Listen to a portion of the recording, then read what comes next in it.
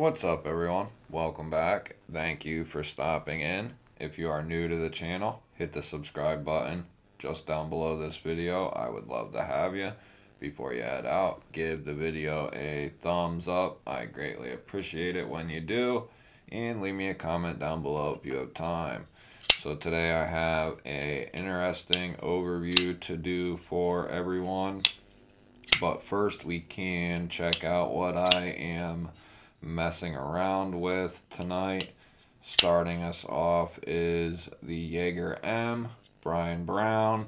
This has a full length Zircuti backspacer and clip. I do have some black titanium hardware coming for it and I'm hoping to get some zirconium collars or zircuti collars probably going to be the zirconium though. Then we have the awesome Tuya NV4 in S90V this thing is ridiculous. Ridiculous I'm telling you guys.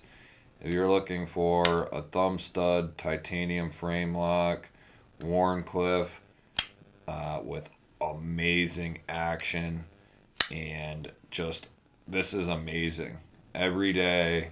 Uh, it, it it's just surprising how well this knife is done.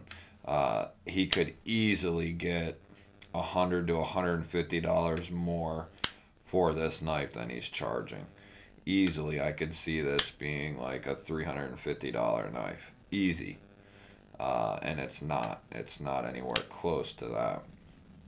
So the Tuya NV4 is it's it's ridiculous how good it is.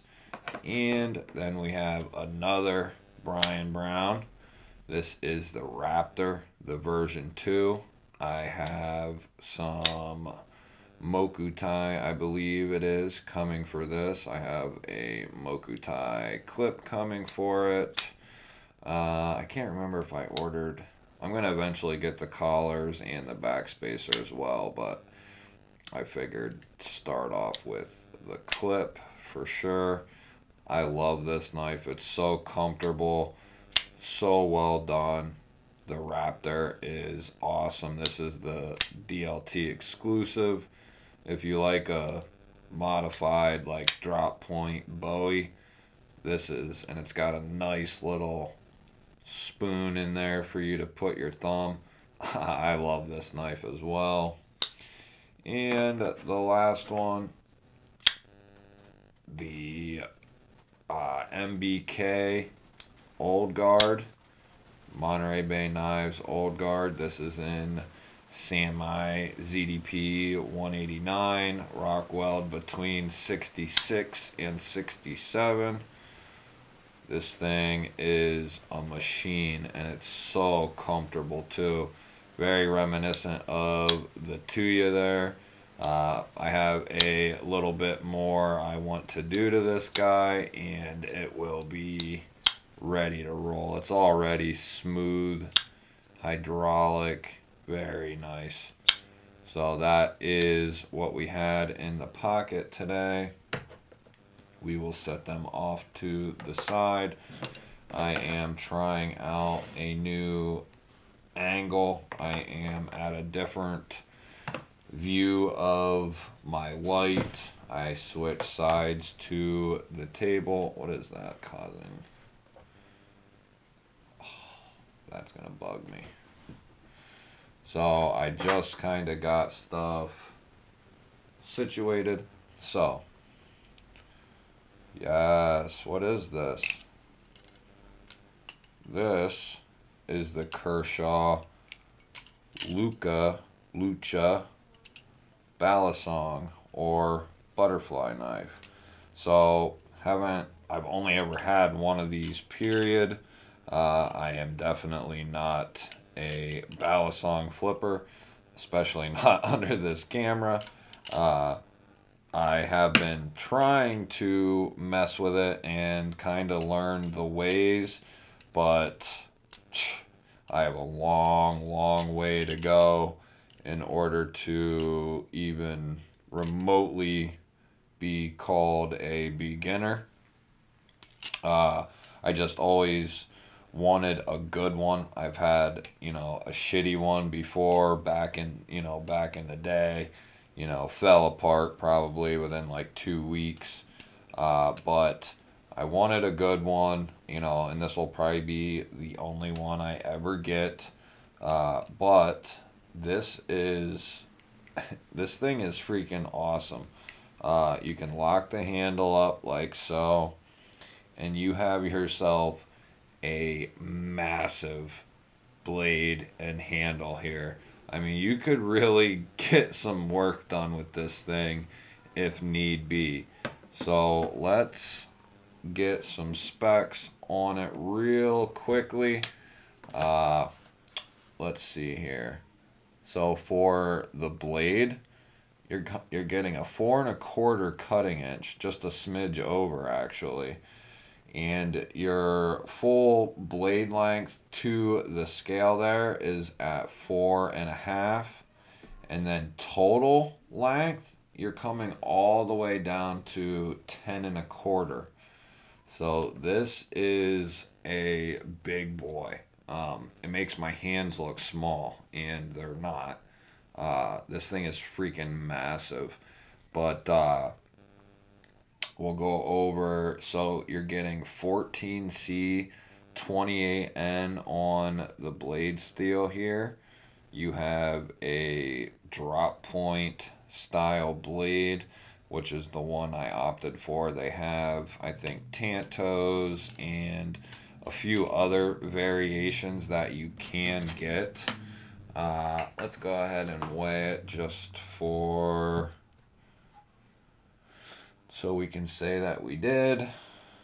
It's pretty heavy. It's not crazy heavy. So it's almost six ounces. So it's a pretty, you know, for as big as it is though, 10, 10 and a quarter or whatever it was, that's not that heavy. Uh, let's get the calipers out. Well, it's pretty damn thin, I'll tell you that right now, guys, and it's sharp as it's sharp as hell. So that's 50.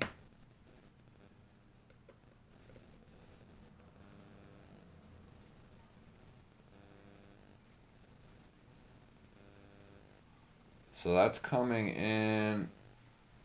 Definitely can get more. So that's like 15 thou behind the edge. So this thing, I'm telling you, it's slicey as all hell. Let's see here. Get out the old. Good thing I got. I went around town and grabbed as many of those phone books as I could. This is how you really can test an edge to see if it's sharp. If the edge is not sharp, this phone book paper will give it trouble. No question.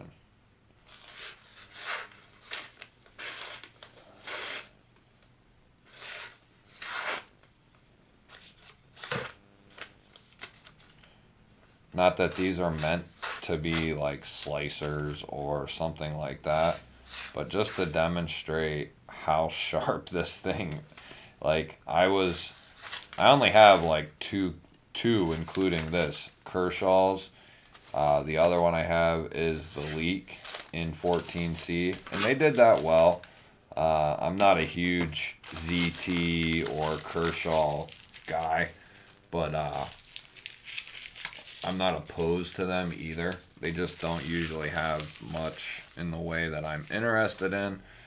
But uh, they did just recently put out an OTF that has kind of caught my eye, even though I'm not an OTF person either. Uh, I have a couple. I like them.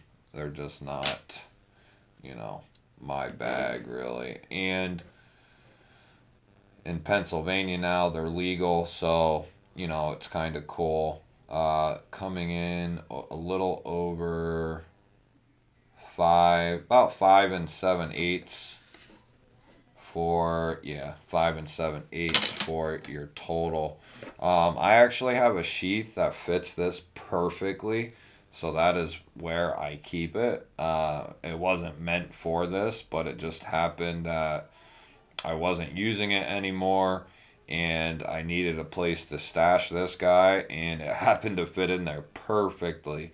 So that is how I carry this with uh, a leather slip uh, and it fits perfect. Not that I EDC this or anything. I'm just saying as far as storing it, uh, it's too big and awkward to put in my knife case since it's so full.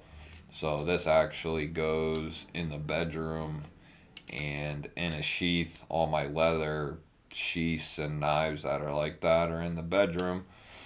Uh, but they do an excellent job with their balisongs. Uh, this they're not like crazy expensive either. I think you can get the Luca as or Lucha as little as like 80 90 bucks somewhere in in that range around a 100 say i guess so just to go over some internals this does have kvt ball bearings in there which makes this thing like glassy smooth. It's it's actually really there's not a lot of room under here guys.